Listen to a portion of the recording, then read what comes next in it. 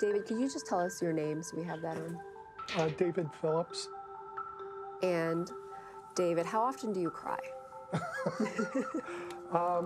It depends on the week. Um, actually, on my way here, I cried. Sometimes when you're in your most vulnerable situations and Adele hits, she really hits. So, you know, in Guardians of the Galaxy, when Groot makes a tree ball around his friends, and Rocket's like, Groot, no! The episode where Ben and Leslie get married. And I picked up the phone and I realized she's not there anymore.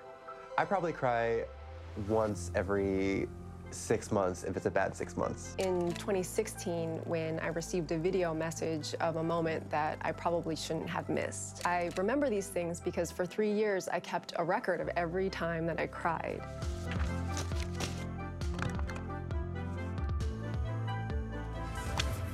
This is your spreadsheet.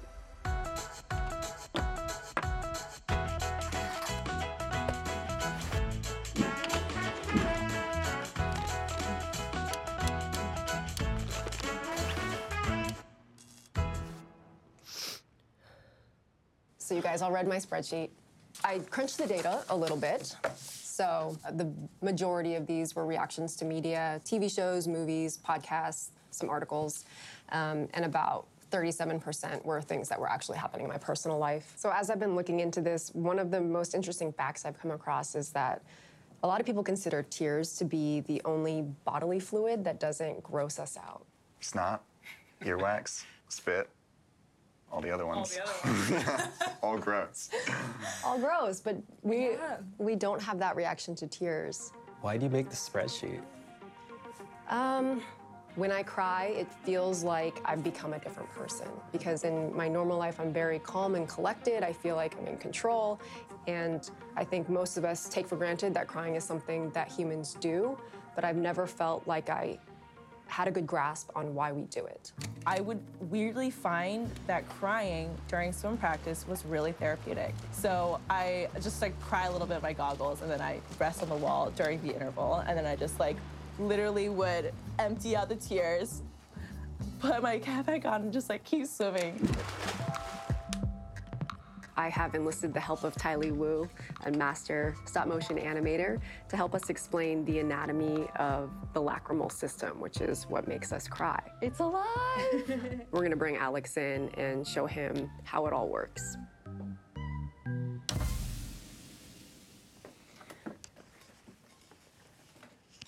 All right, are you ready? Yeah. Okay, so the main lacrimal gland is here on the upper outer part of the eye socket. That gland releases tears that travel across the eye, washing any irritants away. And then when we blink, the liquid gets pushed into two tiny holes near the corner of the eye. And if you look really close, you can see them. Okay. Can you see it? Yes, I can now. You do. It's tiny right there. Yay! Can you show me the other one? Yeah. Can you see it? yeah. You can see the hole. I actually can see it. Oh my God. So our tears drain into our nose, and that's why your nose starts running when you cry.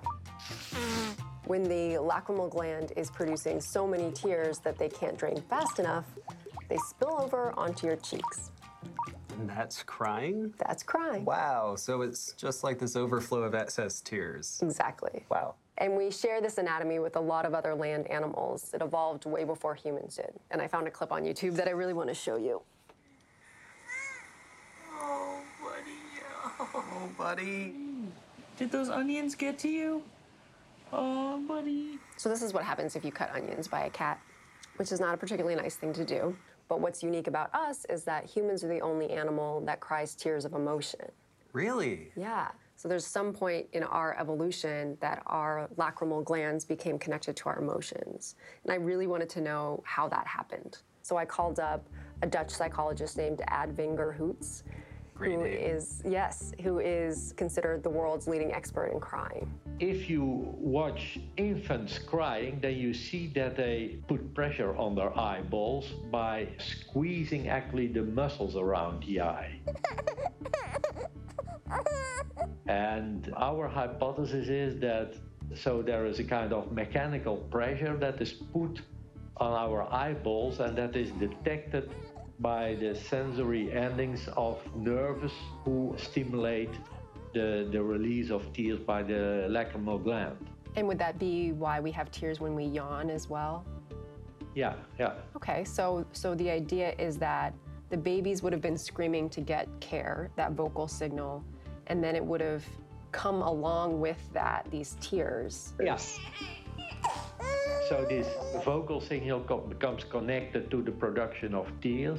And well, that vocal crying is, of course, very important in the early phase when a baby is not able to move towards someone. There might be also a downside to it because it's not just the mother who, who becomes attracted by the sounds of the crying, it can also be a predator. So there's also a, a, a risk of, of, of this making this uh, noise. I see. So maybe there was a survival advantage to a child who produced more tears as opposed to more vocal crying. Yeah, yeah, that's our idea. Yeah. Hmm. So what I'm getting from this is like over time, crying became a way for us to reach out for help. Now you're saying that tears are essentially like a more subdued way of expressing those same things. Exactly. Humans go through this really long childhood where our brains still have to develop because we've got these giant brains. They take 20, 25 years to finish forming. And I think that's why this crying persists into adulthood for humans, is because we're vulnerable for longer than other species. I mean, kids are in their parents' house for 18 years at least. Um, Or 25. or 25, whatever, no judgment. It was the sad, helpless screams of infants that likely linked emotions to tears in our ancestors. As adults, our emotions are more complex, but they still trigger the same signal. Um, I was walking to get groceries one day, and um, I got a call from my grandfather. He's sort of like another parent to me. I lived in his house for a while growing up, and uh, I started crying. I didn't really let on, but I was like, "Oh wow, I really miss, I really miss you. I'm really touched that you're thinking of me and calling me, even if there's not much for us to say." One of the things that we hear a lot is that people feel better after they cry, and that crying is cathartic. Um, I've looked at some of the research on this, and it seems like even though a lot of people report that crying makes them feel better, they haven't been able to find any sort of physiological mechanism that would explain that. So I am on my way to meet with Dr. Mina Dasari. She is a clinical psychologist, and I sent her my spreadsheet in advance, and I'm curious to see what her analysis of it is. Thank you. All right. Do you think crying is healthy? I think crying is healthy when done in moderation. When it's used as a form of emotional expression, but in conjunction with other coping strategies. Crying as a release of emotion, as a way of self soothing, and then moving on to different forms, I do think can be healthy. He's so cute. He's the sweetest. And they're like constantly wearing tie dye, which is their thing. All the time. Yeah. My nephew was born in 2014, and my niece was born in 2016. And you can see those in my spreadsheet. Um, Absolutely. feeling like I was really missing some of those key moments, their births, some of their birthdays. And then my sister would send me videos of them. Hey, happy birthday, Auntie Jossie. Happy birthday to you. And those moments were just like, oh, you know, like I should be there. You longed for that connection. I did. Well, I think that's what I was struck by when reading your entries is the big theme to me seemed human connectedness. And there were sort of two experiences. One was the expression of that human connectedness, either love or affection, um, but also the loss. My mother died when I was 13 years old, and, and my father didn't quite understand me, and uh, and I didn't understand him, and and so uh, I, I cried a lot of sadness. There was a lot of sadness in my life. Oh Father by Madonna.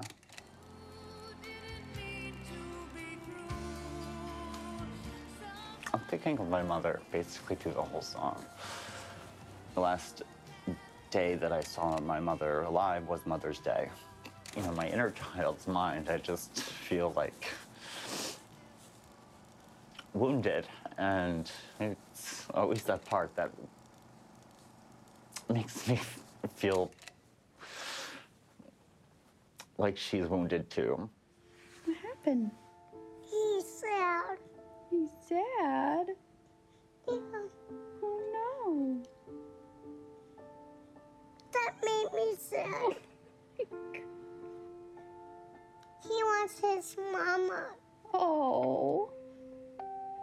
Say mama. So I showed that clip to the Dutch psychologist Ad Vingerhoets, and he said that it's actually pretty rare for a child that young to feel empathy to the point of tears. But as we get older, it becomes more common to cry, not just for ourselves, but because we see others in pain, and especially for women.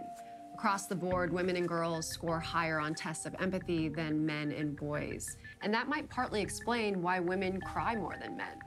In a survey of 37 countries around the world, women consistently reported crying more often than men. And for me, crying can feel almost contagious. Each of these clips is from my spreadsheet, and they show that there was a consistent trigger that made me start to tear up. 70% of the time, it was when I saw another person crying. And I just remember like crossing the finish line and being so emotionally vulnerable and so emotionally dead. And then the plan was everyone's just gonna meet me back in my apartment. And so as I was walking, um, one of my one of my best friends, he came and and found me. And, and and I again I started crying as soon as I saw him because I was just I was just so glad that he was there and I was so glad like somehow he knew that I needed him. Yeah, you got me. it's like if you cry, I'm gonna cry. That's amazing. I think the most mysterious tears are the ones that come when something positive is happening. So I wanted to see if the team had the same reaction that I did to wholesome videos from my spreadsheet. Joss is having us watch some videos uh, that she sent to us. Are you about to make me cry? that depends on you. So here's the file. It's a Dropbox link. I don't really know what to expect. I think she wants me to cry. I'm not going to cry. I'm really scared. Okay.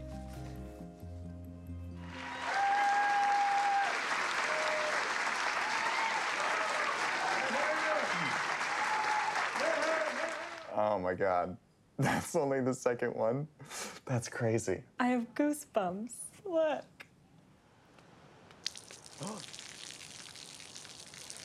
Was it Singapore or Thailand? That's too much water for that plant. The Thai commercial where the guy is going around doing kind things for everyone in his community. It's funny that that was on my spreadsheet because when I started researching this, it turns out that it's a clip that psychologists use to study the emotion of being moved. Hmm.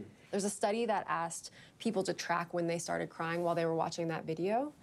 And you can see that around the two minute mark, there's this big jump Oh, when I know people what that start is. crying.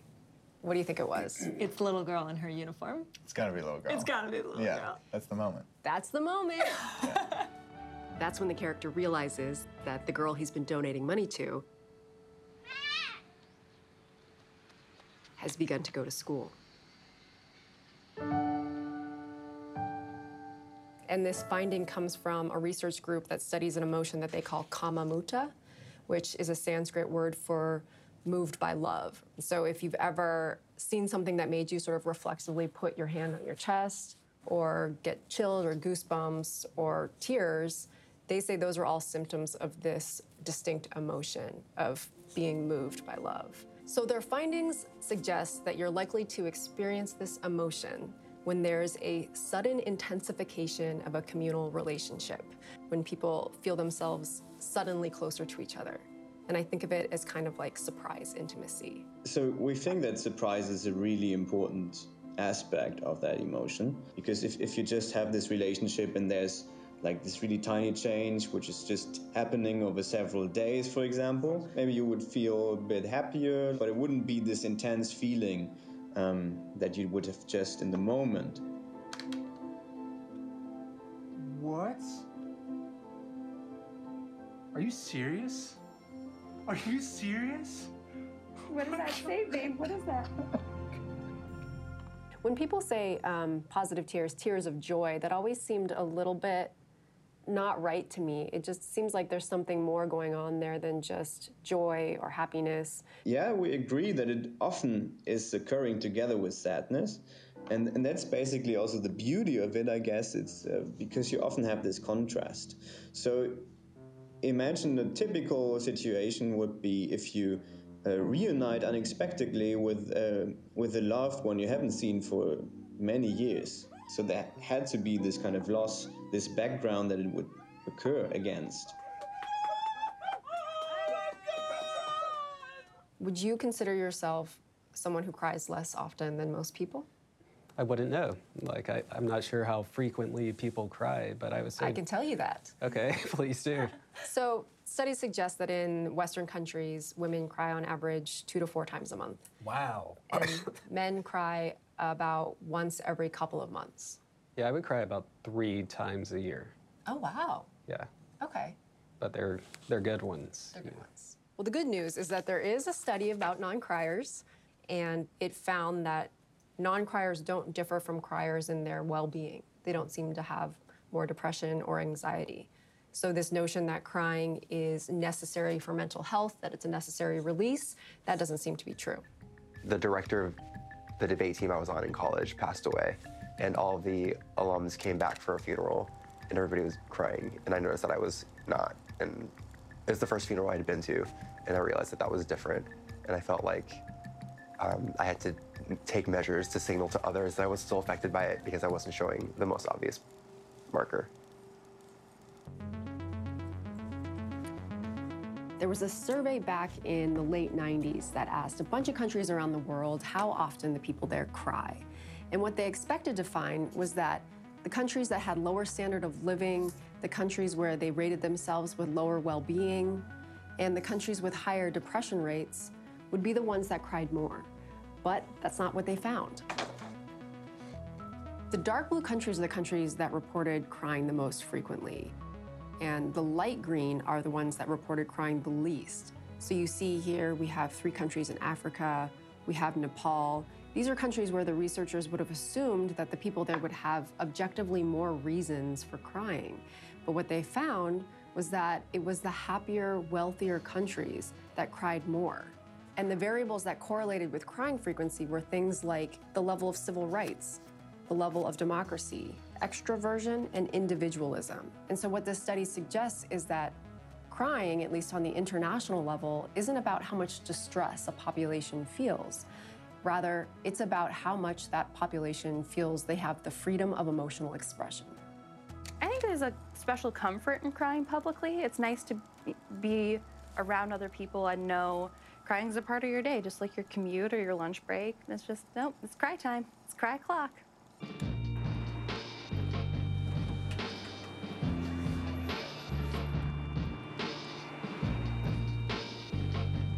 Crying evolved as a signal to others that we need their help in order to survive. But for adults, crying can be a message to ourselves if we pay attention. I think about him a lot these days. Uh, he's getting older, I'm getting older, and, you know, time's not stopping for anybody. It's a matter of, of, of going through life's atrocities for me, and, and yet I came out on the bright side. Your tears are a signal that you're seeing something important to you. And the memories and values that start pouring out of your eyes, they can be surprising. There are a lot of things that uh, push my buttons, but what's actually coming out could have been building up for years. Dr. Vingerhoets had a neat way of putting it. He said, apparently There there's some knowledge in my body that I'm not aware of. I tend to say, tell me who, what makes you cry, and I will tell you who you are. No!